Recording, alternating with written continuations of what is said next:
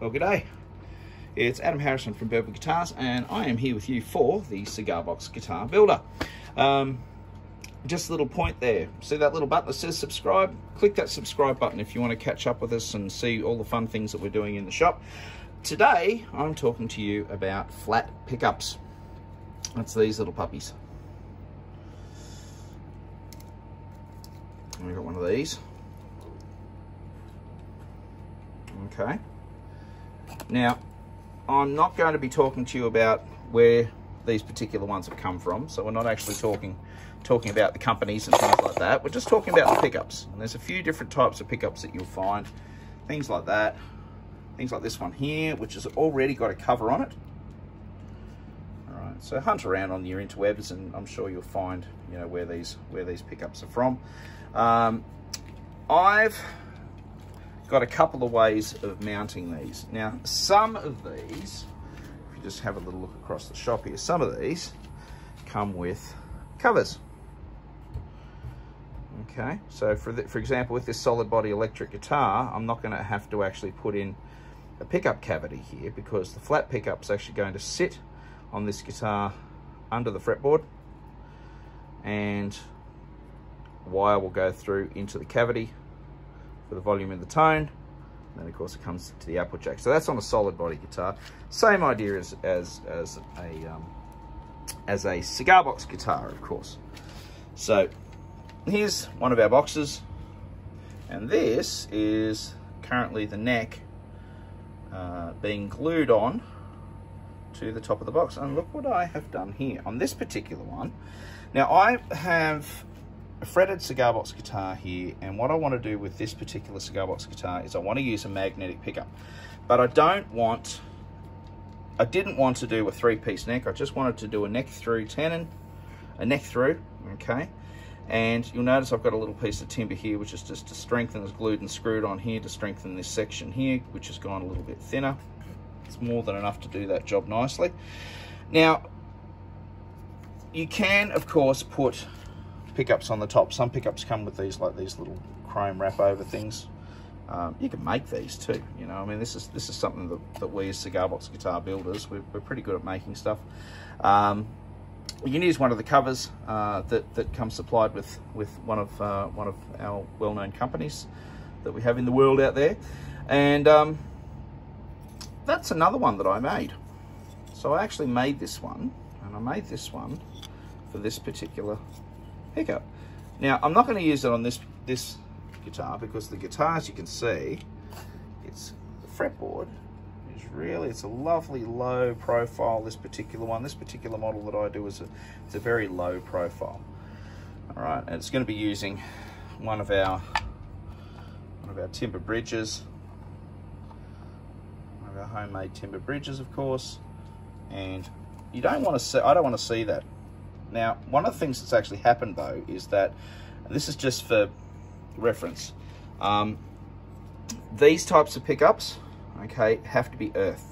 You have to earth these pickups. You can't just run the pickup directly to a volume or an output jack and then out.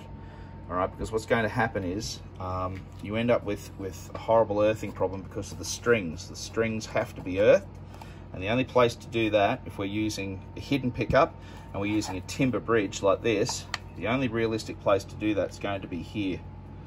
So what I usually do is I run a wire, a little wire from underneath on that fret. I've got a little fret there because I'm using um, nice acoustic pins on the back of this one. And from that little fret there, there's going to be a little wire that's going to come through into underneath the box and then I'll be able to connect that wire to the earth on the output jack or the volume and tone pots. Uh, and that'll actually earth the whole thing. So you won't get that annoying, horrible hum uh, that you can get. And you know, it, it, and the thing with an earthing, it's different to 60 cycle hum. 60 cycle hum something you get with a single coil pickup. Um, what'll happen with this is that you will get um, a buzz. It's more of a buzz than a hum. And when you touch the strings, the buzz goes away. Take your hand away, the buzz go, comes back put your hand on the strings, the buzz goes away. Touch any metal component that's attached to the strings, like the machine heads, the buzz will go away. Now, if that happens, you've got an earthing problem, okay? And that's really annoying. Um, look, if you're selling a cigar box guitar and it's just for someone who's sitting at home and they don't really care, look, I get it, it's okay. But if you're playing, if you're building a cigar box guitar or a guitar for someone who's going to be using it on stage or wants to record with it, um, you're going to have to get rid of that. So please make sure you earth it. And I'll do another video showing how to do that. The whole point with this one is just to talk about these flat pickups. I got off, I diverged onto another topic. So you can make covers for it. You can buy covers for it. Some will come with these little kind of wraparound covers. As I said, you can you probably even make this. It's a nice piece of copper, but you could make make it from a nice piece of aluminium, or it's really lovely actually. It's rather pretty. Um, but yeah, there's some cool things happening now with this particular one. I'm actually going to be using this really beautiful pickup here, and that slides will slide directly under there. Now that'll all get that'll all get taped and glued in. So that's not going to go anywhere. Once that's in, that's in. That's going to be in for good.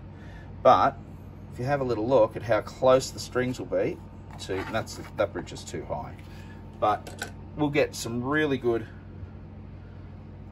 some really good um, uh, string passage through that magnetic field of this particular pickup. Okay, now so this is another one you can see that I've covered and I've currently got drying at the moment. Now this particular one's going to sit on top of the box. And we're using uh, a copy of one of the taxation stamps to cover the um, cover the pickup. And then that'll get more than likely it'll be some double-sided tape that'll hold hold that on some pretty industrial strength stuff that'll that'll hold that on or I'll glue it down. Might end up using some um, epoxy or something like that just to hold it down onto the top of the box. It ain't, it's not going to go anywhere after that, let's be honest. So that's another way, another thing that you could do with uh, flat pickup. So anyway, that's a couple of ideas for you for, for mounting uh, flat pickups. Um, and there'll be more to talk about surely, sure enough, on the podcast soon. So keep an eye out for the podcast, the Cigar Box Guitar Builder podcast, which will be coming back uh, early this year uh, with Mark from MRWS and myself. Um, and uh, thank you for watching. Been Adam from Birdwood Guitars, and I'm here for the Cigar Box Guitar Builder. Bye.